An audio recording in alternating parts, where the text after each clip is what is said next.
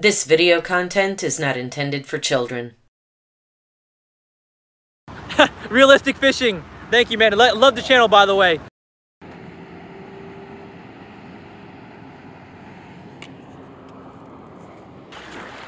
Welcome back to Realistic Fishing. It's crowded over here at Dog Park, and I'm here to see if I can catch fish on Nightcrawler. There's a guy in my spot over there, so we're just gonna fish over here by the boat ramp. We're fishing with night crawlers and or pieces of night crawler. These have been in my refrigerator now for weeks. Same ones I used way back in that night crawler video. I just put them in the refrigerator. They live a long time.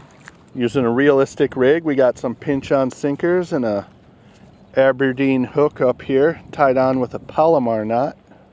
I'm really not sure if there are any fish over here or not. This might be a quick trip. And besides, it's kind of cold and windy. Anyway, let's see what happens. Hopefully I can find a fish and not a million snags.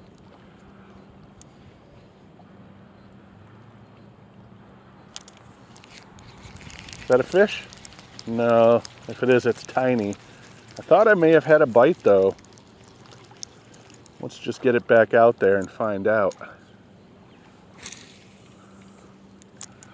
Dang it, I just realized my hook is upside down. I do not want that. So what I'm gonna do is remove these weights.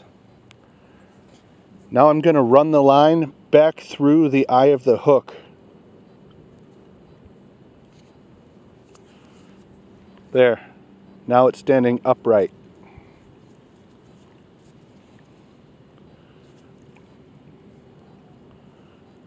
Hopefully that'll help my hookup ratio. Let's put the weight back on.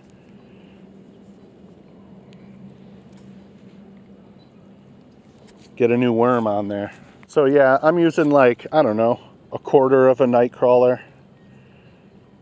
If you use too much, the bluegill will just steal it and you won't be able to hook them because your bait's so big. If you use too small of a piece, they might not even see it at all. So, you know, half inch to an inch, that's a good panfish size for me. Let's keep trying. Thought I may have had a bite. We'll see. Hopefully changing the hook will help my hookup. Fish really small.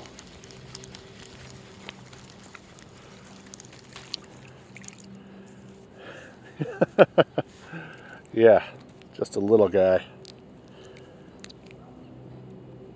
I'll take that. There he is. Four inch bluegill. It's something though. That's number one. This is Mark Pickett from The Fishing Magician. You're watching Realistic Fishing. Keep it realistic. Oh, that was a good one. All right, let's try it again. Little bait stealers.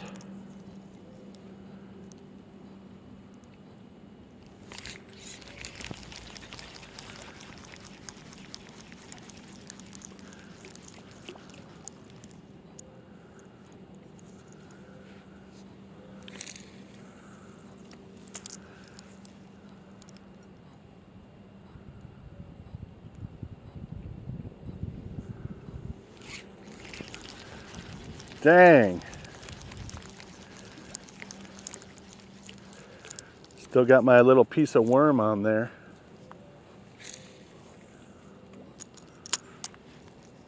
There's some there's some tiny fish down here.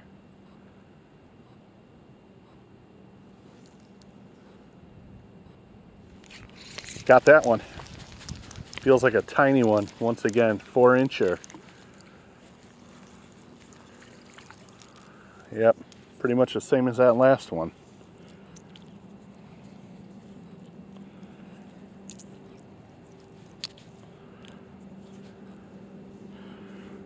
Catch of the day.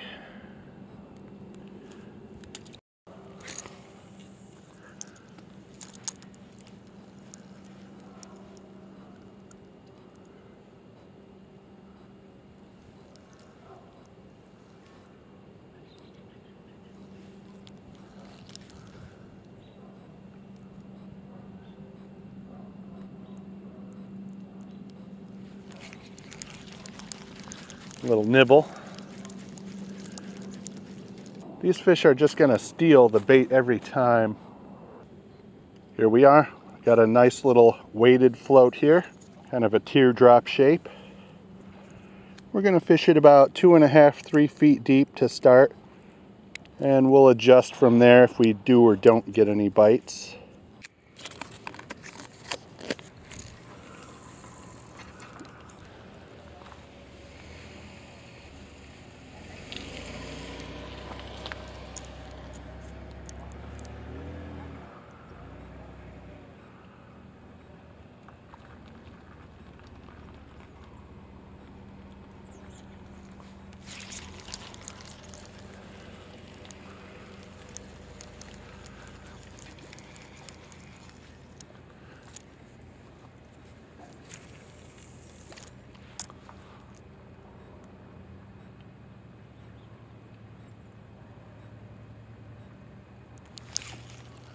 Tiny bite. What's up, guys? This is Jordan from Dude Fish TV, and you're watching Realistic Fishing. Keep it realistic.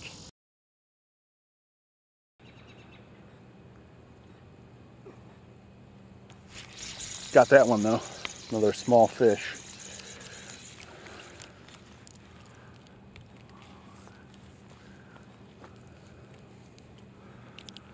So far the catch of the day, five inch bluegill. Gonna have to write home and tell my mom about this one.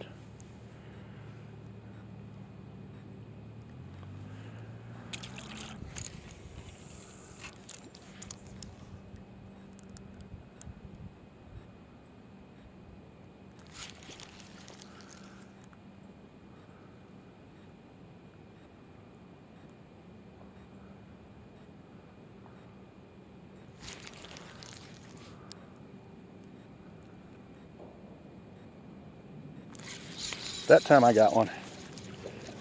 Another small one, four incher. Seems to be all that's down there right now. This guy. Him and his twin brothers.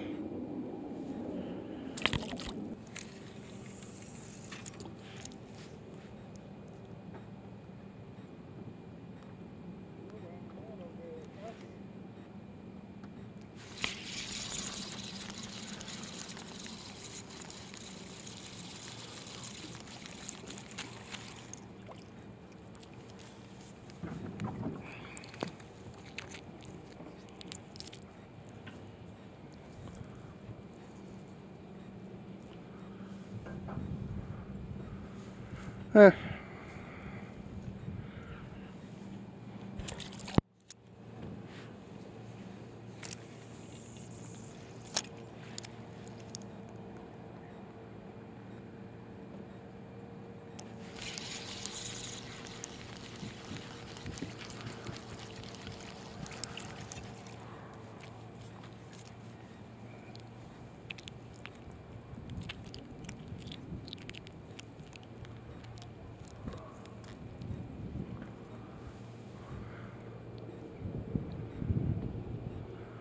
Tiny.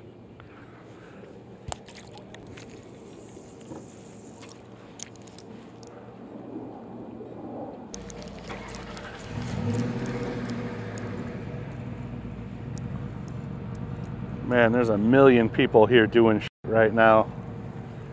Even more boats headed in this way. Got this boat full of guys. Hi, I'm Sherry. You're watching Realistic Fishing. Keep it realistic. All right, I'm over here at Skeletor Park. I got a few minutes left. It's almost dark, but I want to see if I can catch anything over here. All right, let's see if we can find something over here.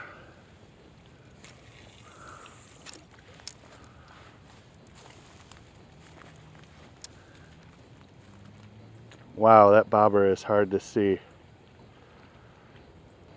I can see one thing though, it's not going under.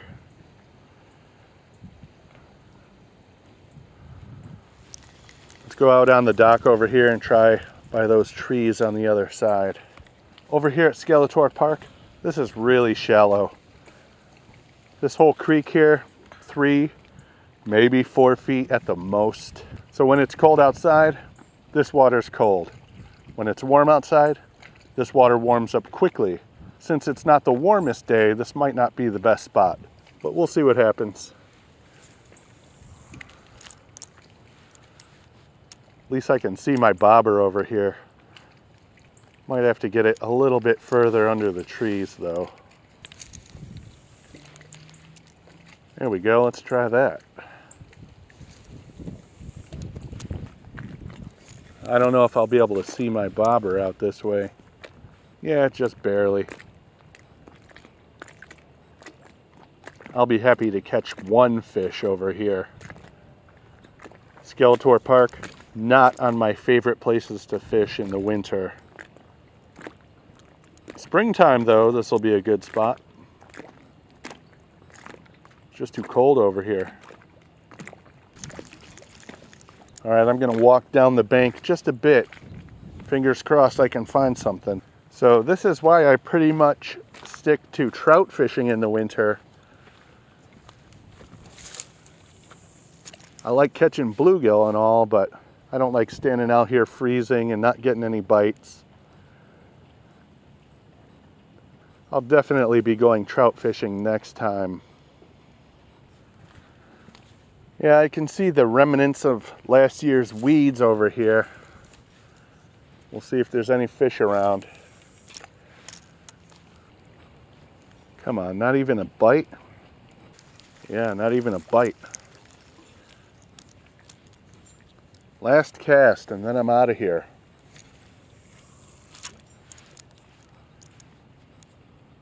Unless I start catching them, but I don't think so. The water in the sky look nice, so there's that, but the fishing over here at Skeletor Park really sucks. I haven't even had one bite yet. I really don't want to leave empty-handed, so just one more cast. For real this time. One more and then I'm out of here. Come on, just one fish.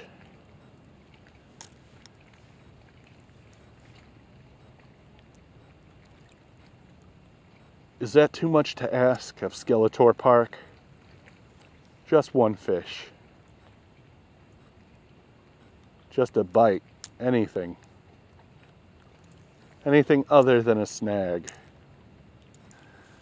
I'll just look at the sky again for a few minutes before I go because this is the best part.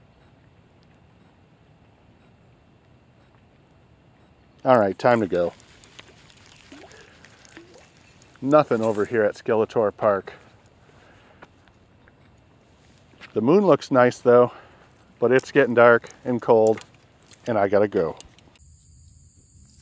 What's up everybody? Fatboy Dan here from Fatboy Dan's Great Outdoors. Y'all already know you're watching realistic fishing and just remember to always keep it realistic.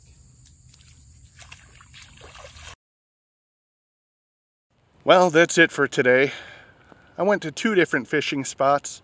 The first one was much better. I was catching four and five inch bluegill on gulp and live worms. It got crowded over there, so I came over here to Skeletor Park. Not even a bite. But I do have this nice sunset, and that's what we're going to end off on. Thanks for watching Realistic Fishing. Keep it realistic.